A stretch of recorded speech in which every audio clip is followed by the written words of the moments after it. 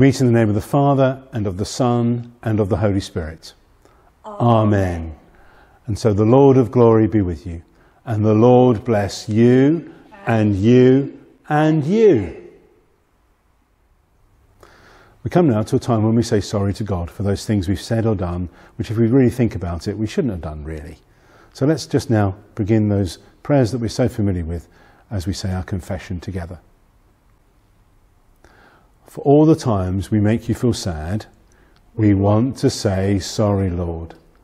For the times when we are angry and grumpy, we want to say sorry, Lord. For the times when we are rude or naughty, we want to say sorry, Lord.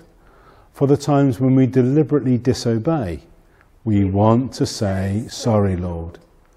For the times when we are selfish or unkind, we want to say sorry, Lord. For all the wrong we do, things we do, Lord, wipe away our sins. Amen. And so we receive God's forgiveness. May Almighty God have mercy on us and forgive us when we get things wrong and bring us to everlasting life. Through Jesus Christ our Lord. Amen. Well, hello. Welcome to our final Lenten reflection.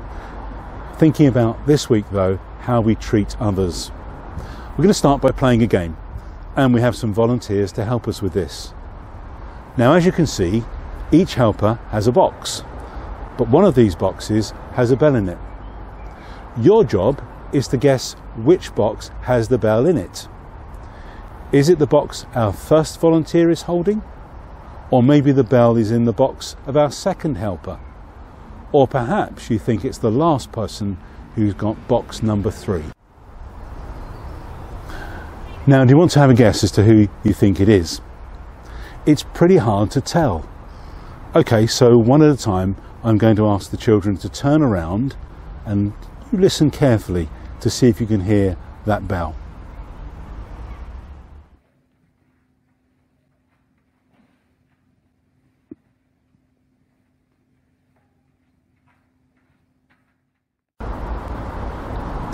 So, did that help? Has your guess changed? Maybe we need them to do something that requires a bit more movement. Maybe to sit down and stand up again.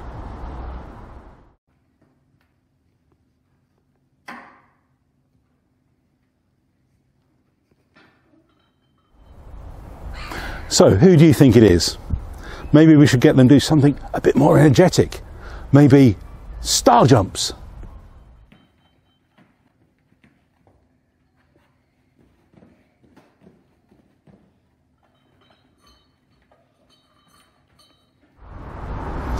So, do you think you know now? Most of us probably could have a really good guess as to who it was.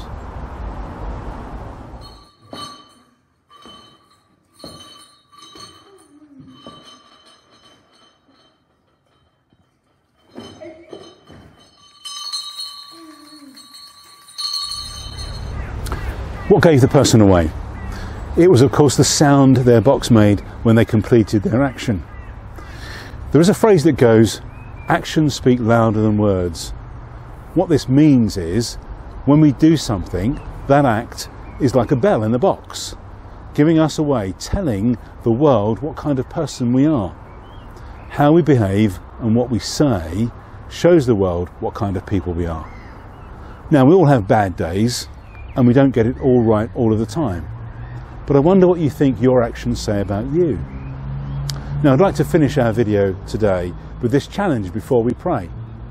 In a moment, pause the video and come up with an ark, not a Noah's Ark, an ark, a random act of kindness to complete in this next week. Maybe you could let your teacher know your ideas and perhaps they could th pick three of those ideas for the whole class to complete. It could be anything from smiling at someone who doesn't have a smile of their own or surprising someone with a lovely present.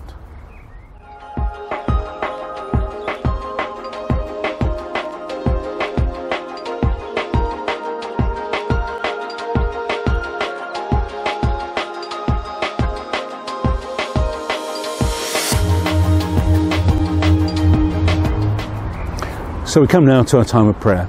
And if you'd like to put your hands together, maybe close your eyes, we'll pray together.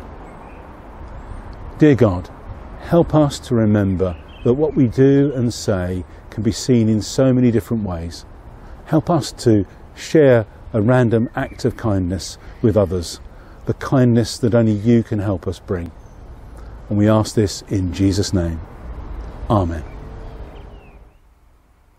And so we say together the Lord's Prayer. Our Father in heaven, In heaven, hallowed be your name. hallowed be your name. Your kingdom come, Your kingdom come, your will be done, your will be done, on earth as in heaven. on earth as in heaven. Give us today our daily bread. Give us today our daily bread. Forgive us our sins, Forgive us our sins, as we forgive those who sin against us. As we forgive those who sin against us. Lead us not into temptation, Lead us not into temptation, but deliver us from evil. but deliver us from evil. For the kingdom, For the kingdom, the power, the power, and the glory and the glory are yours are yours now and forever. now and forever. Amen. And so we go with God's blessing. May God fill us all with joy and peace, and the blessing of God Almighty, the Father, the Son, and the Holy Spirit be amongst us and remain with us always. Amen. Spread joy and peace wherever you go. Thanks be to God.